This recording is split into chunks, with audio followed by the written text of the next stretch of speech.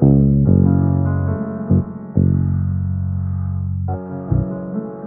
are you feeling today, Mr. Jesse?